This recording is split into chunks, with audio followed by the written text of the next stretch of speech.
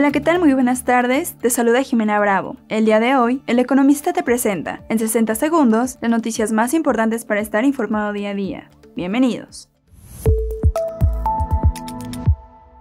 En primer plano, durante mayo ingresaron al país 5.693 millones de dólares en remesas, entrada que significa un aumento anual de 10.7% según información recabada por el Banco de México. Finanzas y dinero.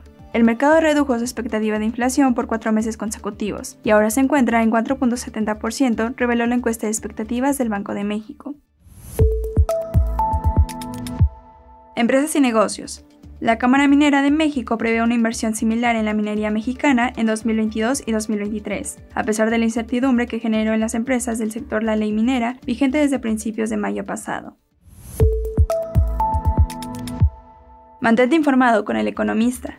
No olvides seguirnos para no perderte tus 60 segundos de noticias. Hasta mañana.